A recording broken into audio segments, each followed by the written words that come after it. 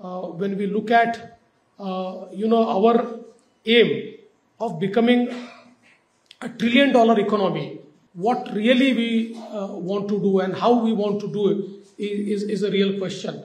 And I would say that uh, basically technology is something uh, which is going to lead the way uh, towards this trillion dollar economy because all of us know that technology is a, is a force multiplier.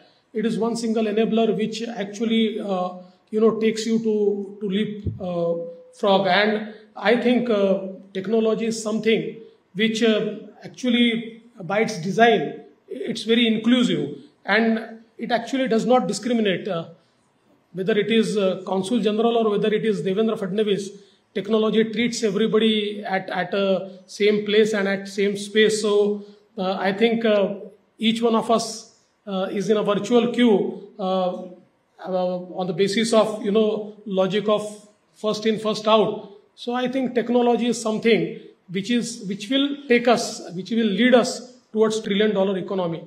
And with the use of technology, uh, basically, uh, our strategy is that the speed of travel and the speed of data are two things which will determine our uh, you know pace of uh, becoming trillion dollar economy.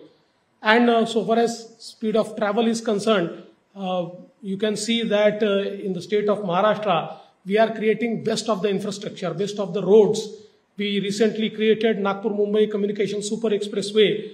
Uh, this super expressway is one of its kind super expressway which is connecting uh, you know 14 districts to the JNPT port. JNPT port which accounts for 60% of our uh, container traffic. And I think uh, with that the port led development is able to reach to different parts of, of uh, the state of Maharashtra. You can see we are creating best of the bridges. You can see we are connecting Mumbai to New Mumbai by 22 kilometers sea bridge, which is, uh, I think, largest in the Asia.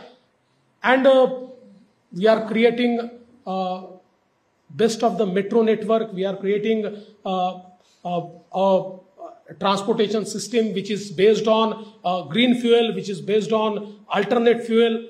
So I think uh, by the speed of travel and of course with the speed of data because now we are in the era of 5G and uh, with our Honorable Prime Minister's initiative of uh, uh, BharatNet, by which now the fiber has reached to almost 29,000 uh, gram panchayats of Maharashtra. Every gram panchayat is powered with the fiber, and with the usage of 5G, we would uh, uh, be enabling uh, the healthcare, the education, uh, and all these sectors to reach to the last man of the society. So this growth model which we are creating for a trillion dollar economy is a very inclusive model which is which is creating new business opportunities which is which is creating uh, you know uh, better lives for uh, 12 crore people who stay in the state of maharashtra. And i think this